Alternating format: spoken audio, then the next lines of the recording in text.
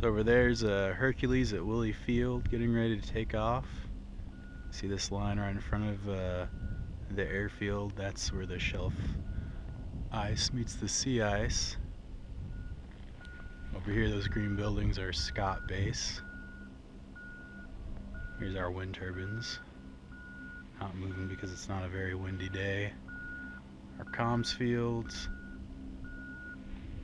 You start getting, oh, Erebus is that big towel mountain back there. Start getting into town. Got waste back there in the corner. Fuels right here in front. Some cargo. The body of town.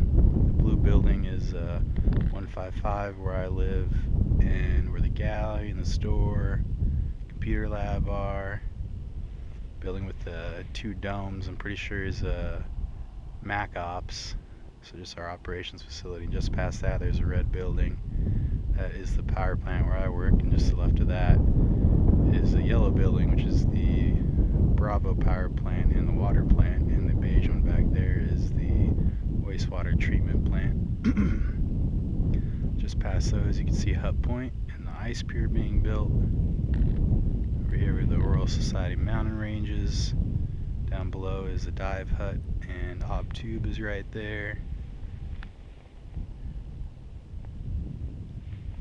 Right there's Discovery Mountain. Uh, to your left, and then cross over.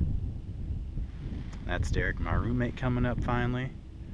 Right here we got Black Island to the south. We got the Ob Hill cross. Right back there behind Mount Black Island is uh, Minerva Bluff, I think. Some bluff.